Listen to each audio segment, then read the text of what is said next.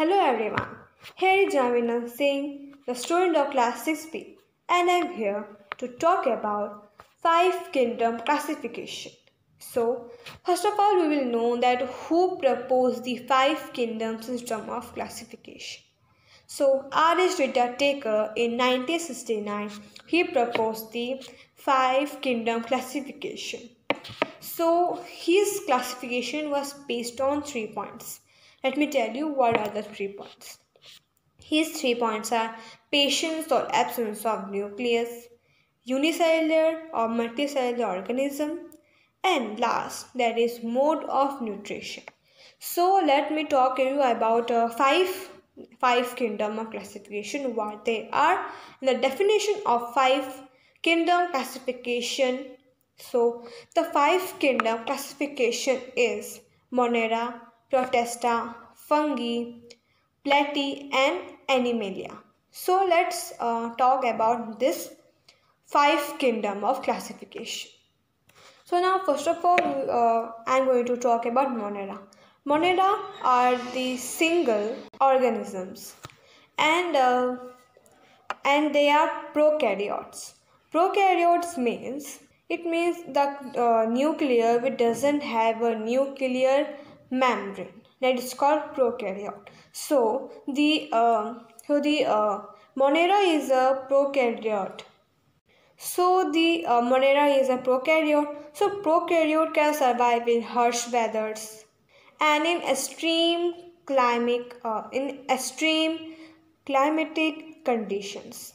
And in uh, prokaryotes, the rigid uh, the rigid wall is present the rigid cell wall is present and membrane bound cellular organisms are absent. So now let's talk about protista. What are protista? Protista is a simple eukaryote. Uh, it has it, it is having a nucleus. Uh, mostly protista, unicellular are mostly new uh, unicellular are there and some are multicellular and they are heteropotic and they they mostly live in water. The example of protista is uh, diatoms, amoeba and etc. Now let's come to the fungi. What are fungi? Okay, the uh, the kingdom of fungi uh, is eukaryote. Uh, uh they have membrane bound uh, and uh, organisms. Fungi are also hetero- heteropotic and they are heteropotic uh, organisms because they lack chloroplast. They are lack of chloroplast. The example of it is mucor, mucor, uh, yeast and more. Now let's talk about Plantae. What are Plantae?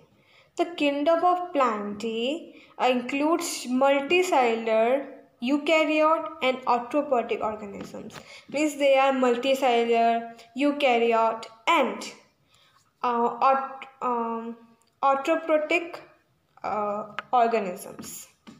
All the plants can make sugar using the sun's energy. Means all the plants uh, planting all the plants can make this sugar with the help with the using of sun's energy.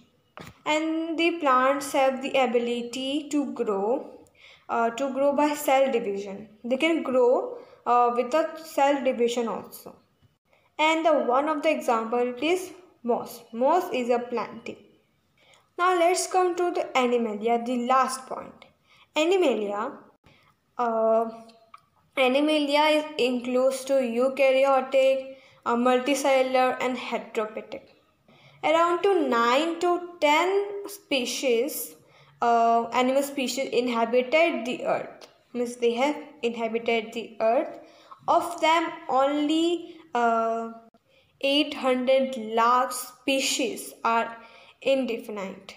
And the animals are uh, made up of many organisms uh, that help in programming specific functions that are necessary for, for the survival of the animals of the organisms and the most of the animals are primitive animals and most of the animals have the ability to walk, to move.